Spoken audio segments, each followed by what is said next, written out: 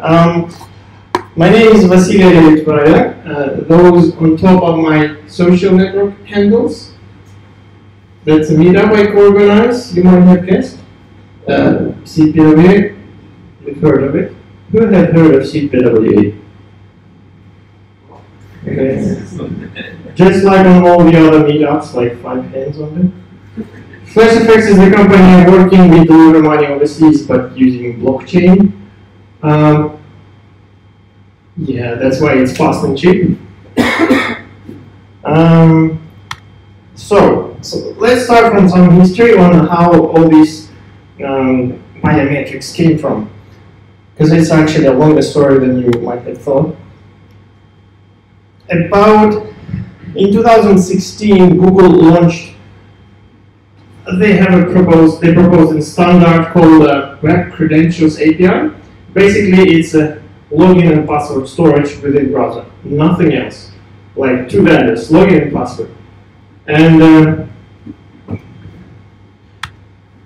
there were literally two more APIs. One to store the login and the password, and another one is to bring up this dialog, and user just selects whom he would like to log in as. So um, that was the adoption. Basically, only one browser implemented it, nobody else. Uh, and there are a few reasons to it. I'm not gonna dive into, but event, yeah, it was actually a failure because uh, uh, I'm not sure if it's deprecated or not. It's in kind of in in a null state. But based on this standard, they developed a new standard, and actually all that to came up with the, finally the biometrics. It took five years to consolidate all the browsers, all the experts and stuff. So welcome the uh, Web Authentication API. As you can see, browser support is quite great. Uh, Safari is the new IE, as you know, so that's why it doesn't have all the features.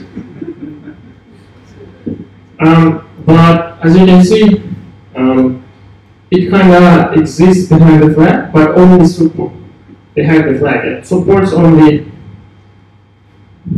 thumb drive and uh, authentications, not, not the biometrics yet.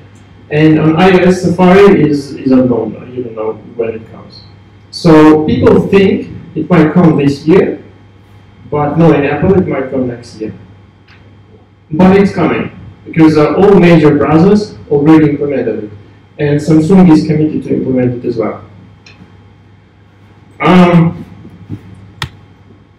so this is an abstract from a specification abstract.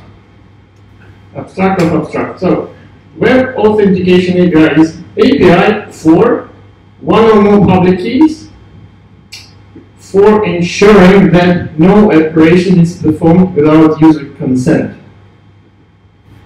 Well, it's basically a public key storage, public plus private key storage. So your fingerprint scanner or any other biometrics, it issuing public and private keys. But it doesn't issue private, it stores the private inside of it, but uh, the public is, is given to you as a, as a developer. You can read it if you want. Uh, it's interesting information. I'll wait.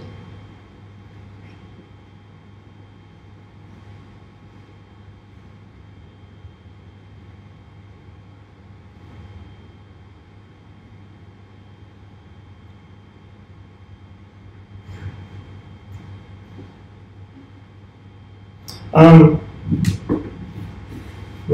Party is nothing else but your website. Your website. Um, moving on. Quick reminder what is private and public key, because uh, I know everybody is smart, but I learned this last year. Um, so, uh, if you have a public key, well, somebody issues a public key and a private key. Then somebody else can use public key to verify that the message is like correct. It, it, somebody signs it with a private key and then you are using the public key to just make sure that it, it wasn't modified by anybody in any way. And another uh, usage, you can actually encrypt data with this key and uh, send it to whoever to decrypt using the private key. Um, if, by the way, if any questions, yeah, just uh, just yell. Uh, okay, now another terminology, authenticator. Um, it's basically a device to generate those private public keys. Okay? A device, a hardware device usually. Um, and there are two types of authenticators. First of them is uh, is called platform authenticator. Is a hardware built in into the like smartphone or laptop, right into the device you're running the browser in. And there is a roaming authenticators. This is a, a, a device which like uh, is not part of your computer, like a thumb drive, Bluetooth, and whatever, uh, NFC tag, something like this. I'm, I'm not familiar with those. So we will be talking about platform authenticators. And there you go, that's the actual new API. This is all you need to learn. So create, uh, this is how you grab a public key from mobile phone. Then you go and store this public key to your database. Ah, yeah, yeah. So when it when you generate this, it pops up the user um, like a window saying, "Hey, please put your finger on the your fingerprint scanner." User puts it, and then it generates you the public key. You store it to your database, and then if you need to verify that this is actually that user, you call this thing um, and pass it the public key from, from this thing. That's it. That's, uh, that's all you need to know to use the fingerprint scanner. There are other types of authenticators, and, and you can bring even more security with like different encryption. There, actually, this is two functions, but there is a lot of parameters to it. Um, this is from Google's website, and they see uh, this feature as uh, the replacement for two-factor auth. So you don't need to receive a bloody SMS anymore, or Authy or Google Authenticator. You just use your phone, or if you have a fancy laptop, you can use the fingerprint on your laptop. This is what I'm actually going to be showing you today. Uh, re re-authenticate, re-authorization, sorry. Uh, it's uh, it's what you know, if you have a banking app in your smartphone, then you have a, a login based on your fingerprint. Anybody else is having an app which you open, and then to open it actually, you need to put your finger on the scanner. I, I have like two apps like that. Anybody else actually using that kind of apps? Okay, it's about roughly half of the people, even more. They're just lay people. So, um, and this is actually what you can use to re, re reauthorize your guys, your users, uh, if you want. You, you probably can store this public key in the local storage of your browser or something. I'm not sure. I'm, not a security expert. Um, low friction and phishing resistant two-factor without password. I'm not sure why Google wrote it. This is not secure at all, but that's, uh, I copy pasted it.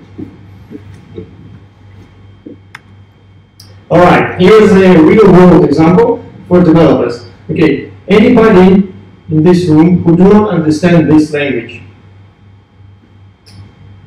Okay, everybody said good. There was once uh, a. Oh, okay, that's English. Yeah. Do you speak it?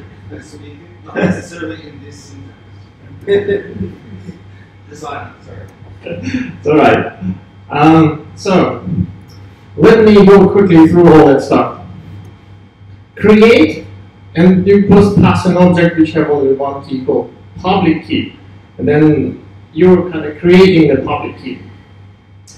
Then you say what kind of authenticators you are allowing.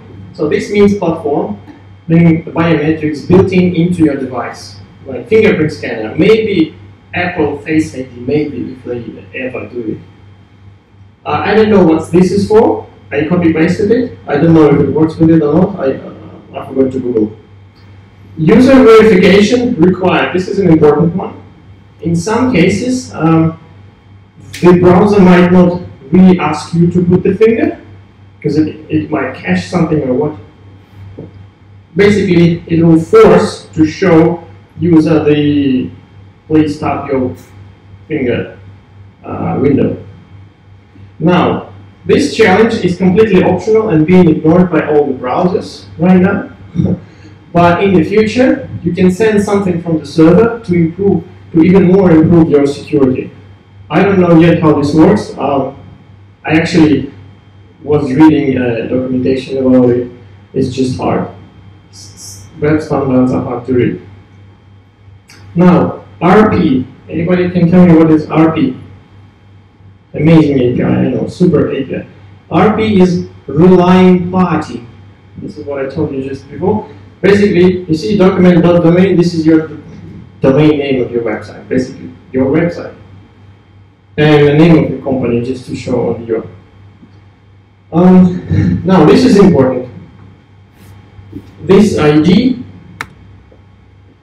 is, uh, you can pass anything, obviously, but I decided, well, it's called user.id, so I am passing them my user ID from my uh, system. And then name and display name, I'm not sure what they use for. Uh, documentation said you have to pass it. And then type of uh, encryption algorithm you want, and you can list a bunch of them, like 10. But this one is a working currently in Chrome, so I'm using it as an example. But in, on the internet, you'll find that people pass like tens of those. Now, the most important bit, it returns the credential. It's a special class, um, uh, and it's got a bunch of properties and methods. So um, as you can see, uh, I, I log the credential, and this is how it looks.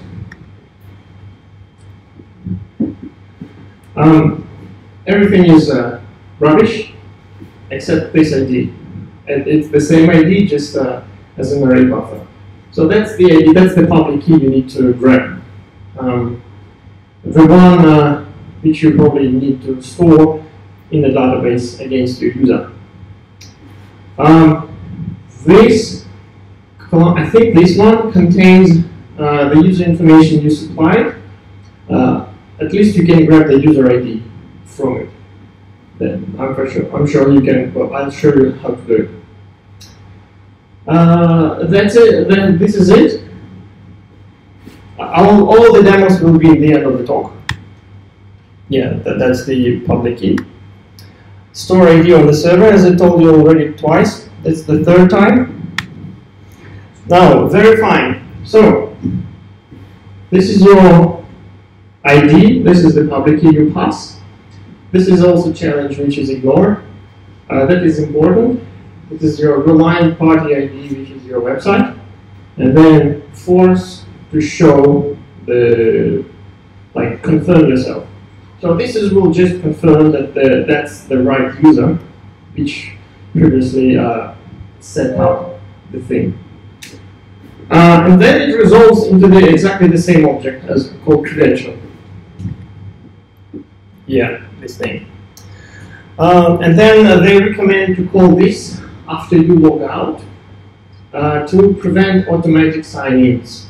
Uh, if you want that or not, but yeah, this prevents it. Demo.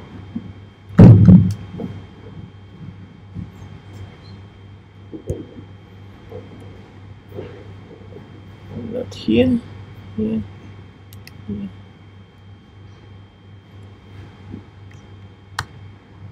All right. Um, just imagine this is a PWA. Okay, I need to log in first. Uh, uh, it's in development, that's why it doesn't work properly at times. So, this is your kind of application. But you go to your like account settings, and you, I, I put it up yesterday, so uh, don't don't bother the UI, and you want to enable the two-factor auth. So you kind of do switch the box, and they, this, this is how it looks. I'm gonna put my finger into my uh, laptop's fingerprint scanner. Boom, there you go. Now I have it enabled. You probably recognize this thing. You, you just saw it. This is it. Uh, the credentials object. Now, uh, I'm going to log out and log in again and see how it works. And boom, it now asks me to put my finger on. Okay, this is me, I'm putting my finger. Boom, I was signed in. There it is.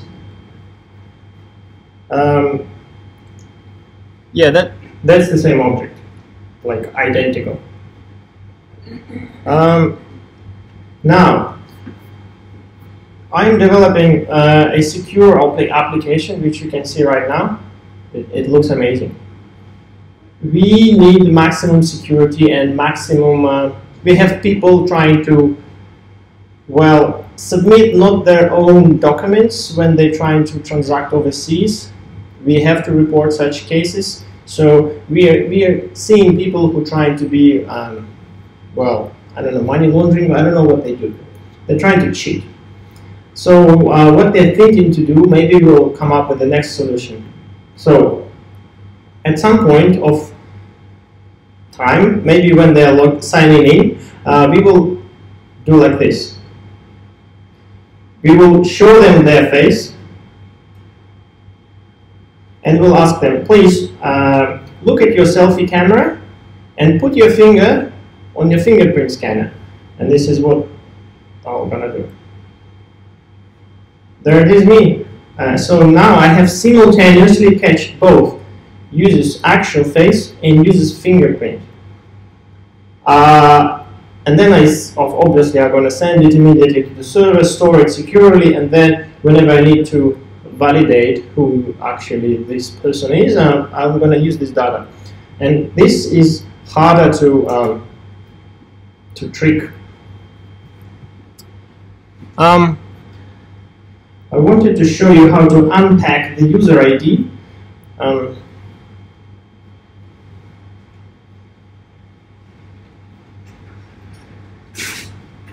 for some reason I don't see how it Oh well. Uh, so this is the code. The code exactly as you saw it before. Um, and uh, where is the most? The, this is the function, and this is the credential.response, which will uh, actually unpack and will grab the user ID from this credential object. I'm not sure why it's not showing in my in here. demo. Demos never go well. Uh, this is this is I think all I wanted to tell you. Yeah, uh, feel free to ask questions. I will answer as I can, but I'm not not a security expert.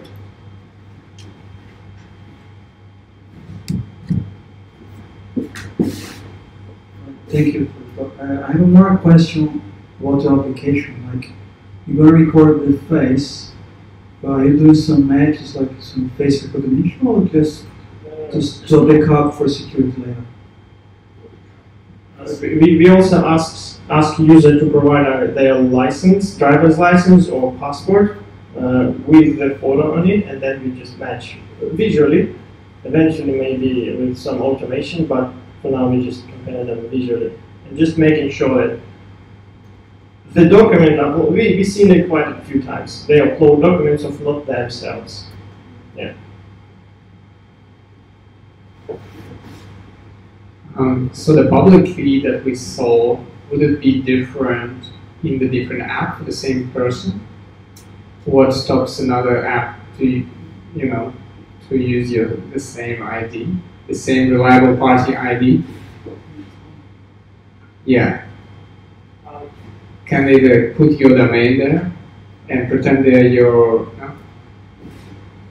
I tried putting other domains, uh, it throws exceptions. Uh, without any explanation, there's no message, just empty exception. maybe it will improve. I've got two phones. If I try to go on your app with my two phones, will the first something there? Will it work? No, there's two different keys, two different hardware devices. So you won't be able to certify it's me. You could create that on the mobile phones. Yeah, yeah, of course. Uh, it it's actually works exactly the same as in um, native apps. All right. Um, I actually have something else to say. any, is there any um, API access to, because underlying there's a, a, an encryption store, public key, private key. Um, uh, it, uh, there must be limits on how many different IDs apps can create. I have no idea. Sorry. I, I while, while I was playing with it, I, I created like hundred of them. Nothing. Just it works. Um, I have few actually things to share with you as as news. I, I forgot to tell it in the in the beginning of um my talk. These are actually PWA news from uh, from the last four months. I collected them, uh, and will it will take me just five minutes. So, Samsung a browser, uh, Samsung Internet is called. Uh, they are the developers are very PWA involved, uh, and they are telling uh, that they're going to implement all the PWA features uh, in, into the browser. And Samsung browser is getting uh, more. How, what? Traffic, yes, whatever. Uh, usage. um, WordPress embedding or already embedded the PWA capabilities into the WordPress core. Um, there is some incredible stats from Pinterest, the social network. Uh, after they shipped the um, the new web app with uh, PWA put on, on it, weekly active users on mobile have increased 103% year over year. On the en- engage- engagement side, session length increased by 300%. The number of pins increased by 400%. The people were 300% more likely to save pin to a board, Logins on web uh, increased by 370%. And sign-ups increased by 843%. Pinterest. Um, August 2018, big three browsers all will adopt authentication API, and it looks like Safari is catching up, as, as always, because it's the new IE. Uh, statistics. Startups currently are developing their first product as PWA and then consider native apps. So that's what modern startups are doing. Uh, create React app, the, well-known package. Uh, now creates PWA by default. WebAssembly is getting better with threads and uh, low-level uh, assembler instructions. Notification badge API for PWA landed in Chrome and Edge, or, or already landed. Uh, basically through push notifications, maybe we will hear about that in the next talk, maybe not. Basically, your shortcut to your PWA on your phone will have the, the red badge of uh, unopened notifications. And this will be a website, not an app. Uh, there are modules which uh, can store your entire Redux, MobX, or VueX, or whatever X store right to the IndexedDB or local storage, and then you like uh, it's using you can use the Redux as uh, your database, and uh, the app can work offline. Uh, there are modules like this just for offline apps. Um, statistics. Desktop and ta- tablet browsing decreased in last three years. Uh, mobile browsing grow, grew by I think 40%, and those two dropped by 50%. Ah, but there, are numbers. In last two years, people launched native apps on tablets 50% fewer times. people launch native apps less and less. Uh, ah, that on, ta- on tablets, but on mobiles, 20% less. Uh, according to Stats Counter, if you know uh, this website, uh, 70 from 70 to 75 percent of all devices in the world uh, can now install PWA into your home screen or launcher or desktop, whatever it's called on your application or on your operating system. Even macOS now have it through Chrome. Um, there is a web standard proposal to allow PWAs to handle file shares. So basically, you can share a file from a native app to a PWA. You cannot do it yet, and I, I think it will land in all browsers. Maybe in a couple of years, but this is what's coming. And this is it. Thank you for listening.